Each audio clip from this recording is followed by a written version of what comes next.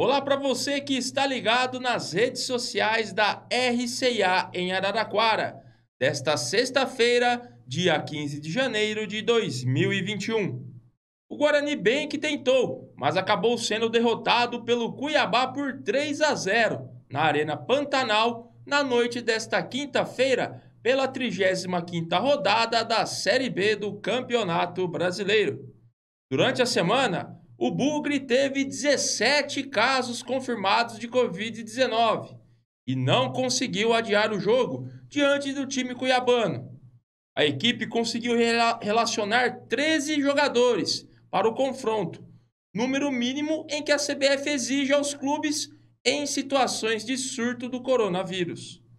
O resultado deixa o Guarani na oitava posição, com 48 pontos, 4 do CSA, primeiro colocado dentro do G4, que ainda não atuou na rodada. O Cuiabá, por sua vez, ficou em terceiro, com 58, dando grande passo rumo ao acesso. E a Ferroviária anunciou a contratação de mais uma jogadora para o setor defensivo. Trata-se da zagueira Analice, que disputou o último brasileiro feminino A1 com a camisa do Grêmio. Já em Araraquara, a jogadora de 32 anos realizou o teste de Covid-19 e o resultado foi negativo. Ela falou também sobre a sua expectativa em vestir a camisa grená e do seu retorno ao cenário paulista. Sou Analice, tenho 32 anos, sou zagueira, estou vendo o Grêmio. As minhas expectativas são as melhores. É, chego num dos clubes mais tradicionais do Brasil, do futebol brasileiro, né? Os, os títulos e a história falam por si só. E venho para agregar o time, estou aqui para fazer o meu melhor, meu melhor trabalho. É, espero ganhar títulos e não vai faltar garra, entrega e tenho certeza que vamos em busca de grandes coisas. Quero deixar meu abraço a toda a torcida fiana e, e dizer que não vai faltar entrega, muito trabalho e vai ferrinhar.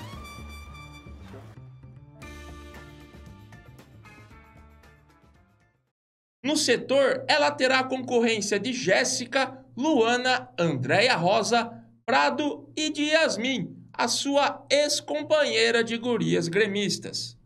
Até o momento, a Ferrinha anunciou sete contratações para esta temporada.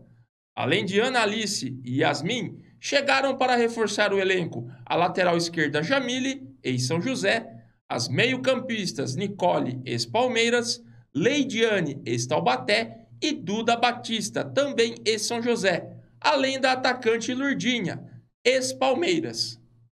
Na carreira, Analice passou por Atlético Mineiro, Juventus, Botucatu, Rio Preto e Iranduba.